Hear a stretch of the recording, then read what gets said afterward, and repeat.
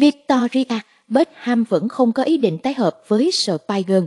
Sau nhiều năm tan rã, Victoria Beckham vẫn sẽ không trở lại trong những sân khấu tái hợp của nhóm nhạc nữ huyền thoại Spigen.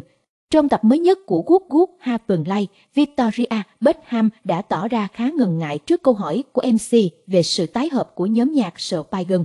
Vừa qua, bốn thành viên còn lại của nhóm đã thông báo về việc phiên bản kỷ niệm 25 năm của album Survivor. Tuy nhiên phiên bản mới lại không có sự góp mặt của vợ cầu thủ bóng đá David Beckham.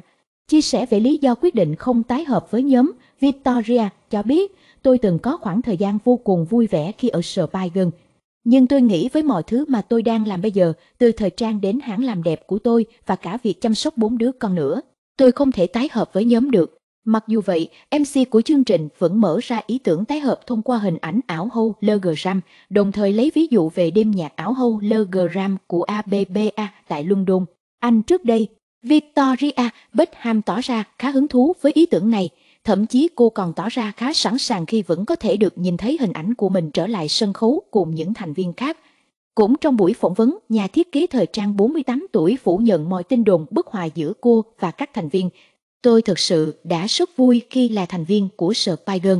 Tôi yêu họ. Tôi thậm chí còn rất thích thú khi hát lại những ca khúc của Spider khi hát karaoke nữa, Victoria chia sẻ. Theo People,